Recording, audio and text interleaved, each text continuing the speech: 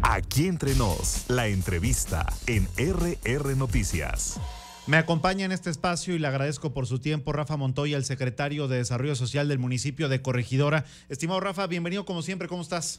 Muy bien, mi Dani, muy agradecido con ustedes por darme la oportunidad de venir aquí a su espacio y traer buenas, pero buenas noticias para los jóvenes, niñas y niños del municipio de Corregidora. Así es, estamos hablando creo que de uno de los programas más exitosos de la dependencia que te toca encabezar, pero en términos generales del propio municipio de Corregidora, el de las becas. ¿Se han dado cuenta ustedes de que es necesario que los jóvenes no tengan otra preocupación más que echarle ganas a la escuela? Sí, como tú lo mencionas, la verdad es que el programa de becas es un programa icónico del Partido Acción Nacional, primero que nada, de los gobiernos de Acción Nacional.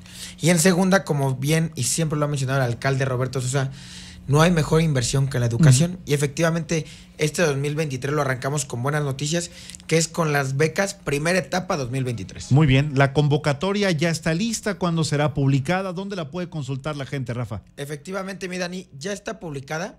Empezó el 23 de enero, un día antes de mi cumpleaños. Hace una semanita. Felicidades por esos 30 años, Rafa. Gracias, Dani.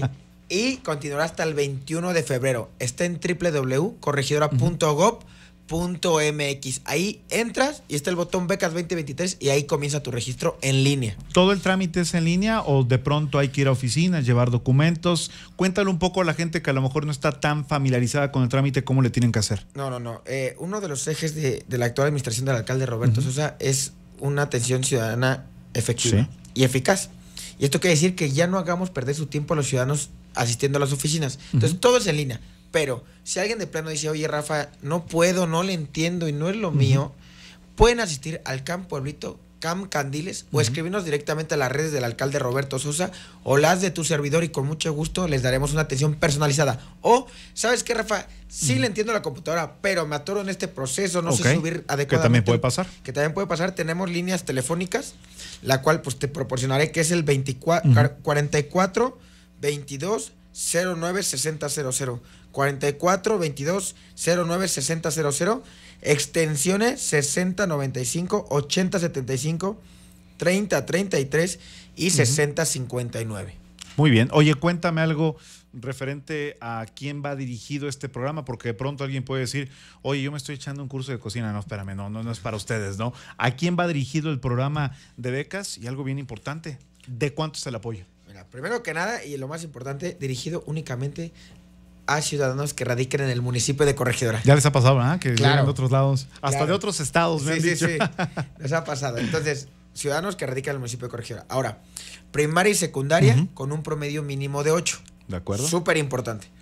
Y para las universidades, únicamente tenemos para las universidades como UTC, UPQ, UTEC y UAC.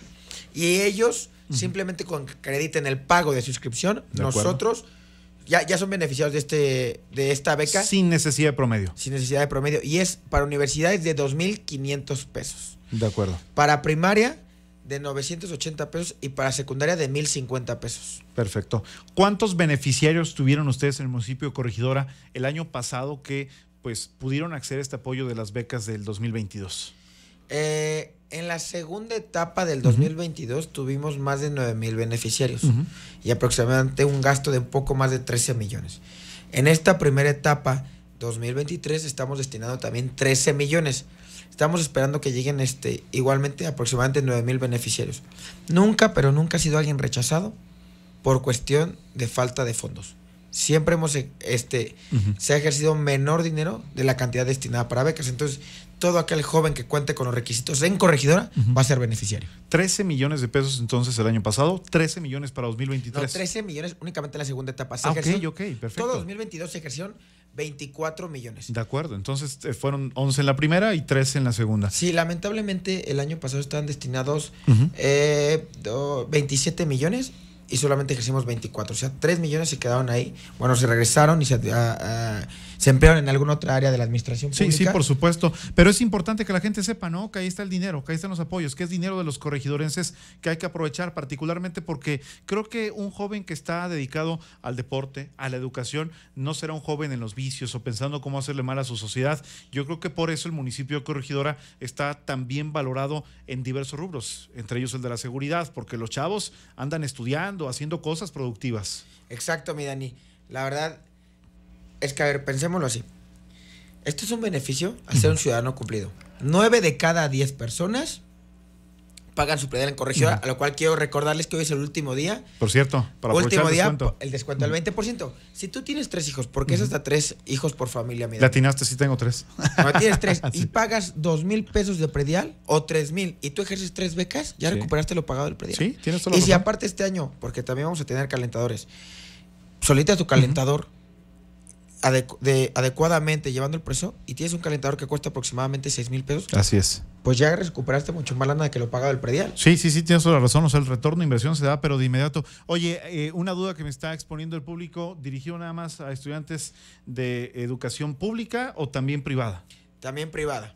Ah, ahí necesitamos una petición expresa de la situación que están viviendo y con mucho gusto se los aprobamos. Pero va enfocado especialmente a jóvenes de, escuelas públicas. Muy bien, ya nada más antes de terminar, repítenos por favor el proceso. Si alguien acaba de sintonizar si no sabe cómo hacerle para acceder a esta, la primera convocatoria de becas en Corregidora. Eh, hay que ingresar a www.corregidora.gov.mx y en el botón de becas 2023. En caso de que se les complique, los invitamos a que nos escriban vía redes sociales del alcalde Roberto Sosa o de tu servidor Rafael Montoya y con mucho gusto les proporcionamos mayor información. Mi querido Rafa, como siempre un placer recibirte en este espacio. Muchas gracias por la información. Gracias mi Dani por darme la oportunidad de venir a traer buenas noticias. Aquí estaremos. Rafa Montoya, secretario de Desarrollo Social en el municipio de Corregidora, aquí en entrevista con RR Noticias. RR Noticias.